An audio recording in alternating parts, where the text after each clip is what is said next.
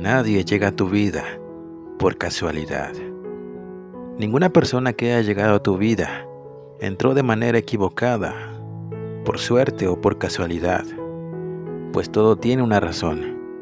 Quizá en algún momento te hayas lamentado por haber conocido a una persona o por haberle dejado entrar en tu vida.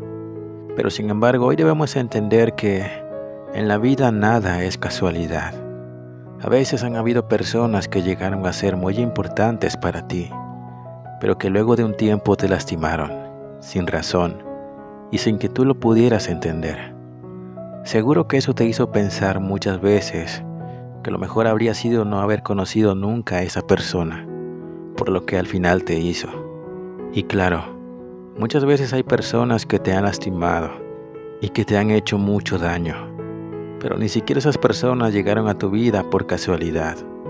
Todos han tenido un propósito en nuestras vidas. Así que no hay que lamentarnos por lo que sucedió ayer, porque todo eso que pasó era necesario que pasara. Hay cosas que simplemente tenían que pasar y nada hubiese podido ser diferente, porque todo tenía que pasar exactamente como sucedió. Así que es en vano lamentarte y decir, que si no hubieras creído en esa persona no te habría hecho daño. Las cosas sucedieron así, y así debía ser. Por eso recuerda, cuando algo te suceda o cuando una persona te lastime, no te preguntes por qué fue que te pasó. Mejor pregúntate, ¿para qué te pasó? ¿Qué propósito tiene? ¿Qué es lo que debes aprender de esa lección?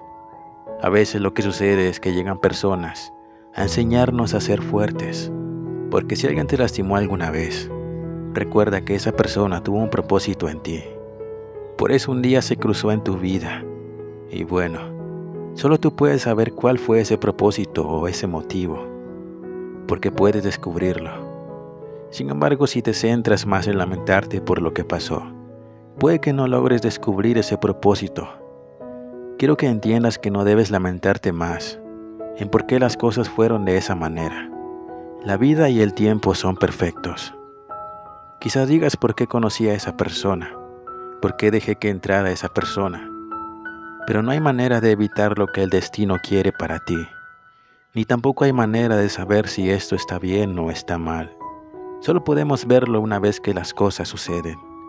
Creo que ese es el principal motivo de las cosas. La vida nos enseña a base de experiencias, experiencias que tienes que vivir para aprender. No te arrepientas de nada en la vida, ni de las personas que conociste, ni de las personas en quienes confiaste y creíste, porque todo fue necesario. Ninguna persona llegó a tu vida por casualidad. No puedes lamentarte de haber conocido a alguien. Recuerda que tú mismo elegiste a esa persona. Y aun si volvieras al pasado y estuvieras en el mismo lugar, a la misma hora, con la misma persona y en el mismo momento, volverías a elegir a esa persona.